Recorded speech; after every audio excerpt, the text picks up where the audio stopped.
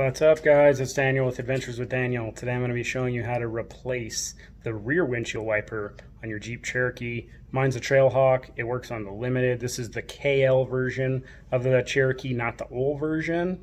So check this out, also works on the Grand Cherokees. I think this will really help you. It may work for other models as well. So stay tuned and we'll get going on it. Okay, so here's the rear windshield wiper on the Cherokee. And if you take this into AutoZone or one of those guys, likely chance of them saying, "Well, I don't know how to replace this thing," so I'm going to show you. It takes very few time, very few minutes here. So first, you want to take this flippity flapjack flopper, flippity flip pants. I think that's the official name of it. Then you want to go ahead and lift the whole windshield wiper off of the back window there. Then you just rotate it. You hear that pop? That allows you to pull it right off.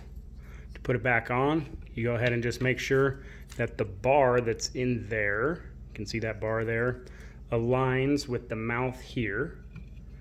And when it does, you put it in, you don't really have to push it, you just rotate it back around, drop that back on your windshield, take this flippity flapjack biscuit baker, flip that thing back over, you got yourself a new daggum windshield wiper.